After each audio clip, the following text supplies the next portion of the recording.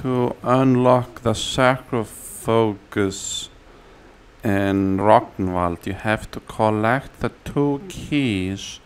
One of them is from Ragnvald Crypts, and one of them is from Ragnvald Canal.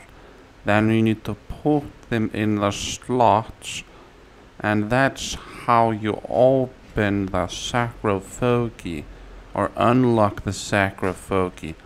But watch out when you unlock it, there will be very angry guy.